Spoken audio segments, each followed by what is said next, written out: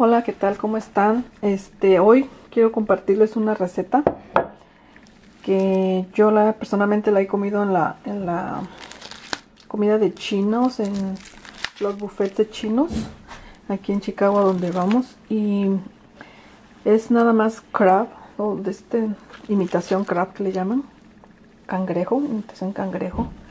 Aquí yo tengo lo de kilo y medio más o menos este, mira, ya lo estoy picando porque se me estaba pasando que tenía que grabarles. Aquí tengo yo dos varitas de apio, crema, una de crema. Este, bueno, tengo dos. Esta ya la tengo aquí preparada.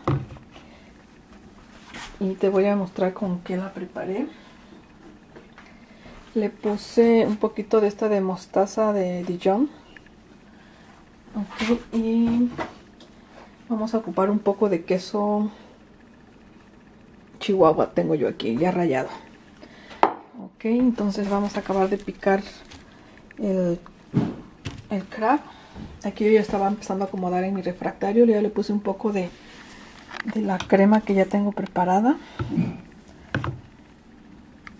Y un poco de apio. Le vamos a poner un poco de Si gustas poner un poquito de sal también. Y vamos a ir haciendo como tipo capas. Ok, aquí ya vuelvo a echar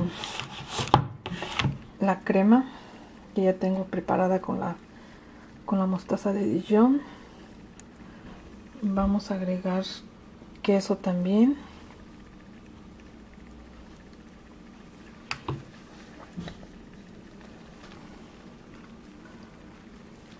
Sale muy sabroso, a mí me encanta.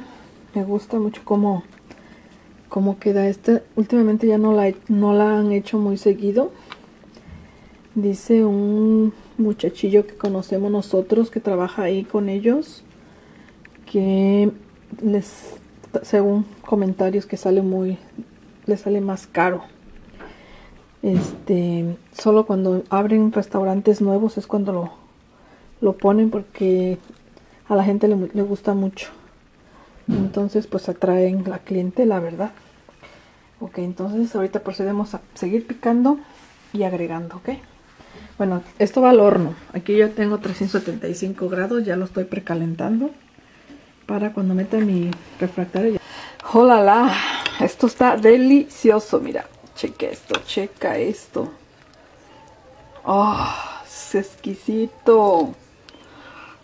Te lo recomiendo mucho, te lo recomiendo ampliamente estos. Mm, mm.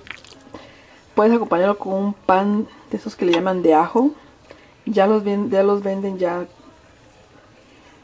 ya mm, hechos ya en paquetito, cajitas venden de garlic bread le llaman. ese.